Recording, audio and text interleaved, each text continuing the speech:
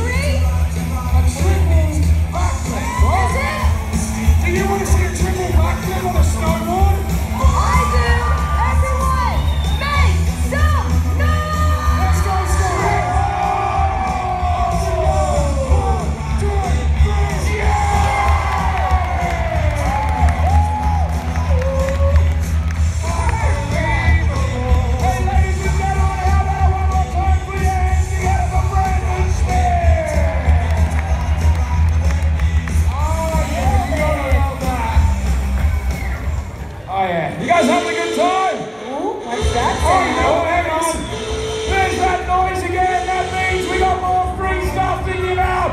Who wants some freebies?